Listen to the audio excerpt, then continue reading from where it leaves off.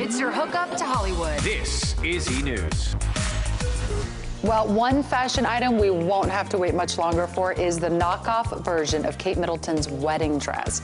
Yep, all you brides to be out there can soon look just like Kate at a discount of about, oh, $400,000? I, Catherine Elizabeth, take the William Arthur Philip Louis, and there too I give thee my trust. Princess Catherine's Alexander McQueen wedding gown reportedly cost around a staggering $420,000. But now brides can get Kate's nuptial number for just 1800 bucks. Shala Moradi's team at design house Faviana has been working feverishly since Friday to replicate the royal masterpiece, and their creation looks nearly identical to Kate's. The top is French lace, ivory, and the skirt is bridal satin.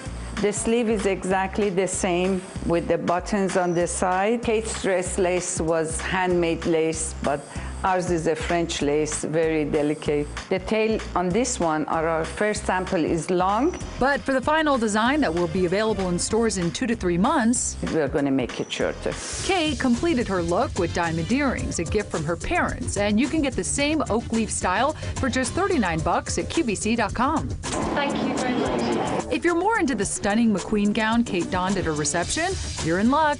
This similar gorgeous style by David Totero by Faviana is already in stores for $1,300. It's exactly the same dress. The only thing is it's a longer top to give a nicer waistline to the body. And in the back, Uh, the buttons goes all the way from up to the bottom of the dress. if you're dying over Kate's sister Pippa's stunning McQueen bridesmaid dress, you can get this incredible lookalike, which has the same unique drape neckline. And the back has the buttons. It's a stretch fabric and it uh, has a very nice drape on the body.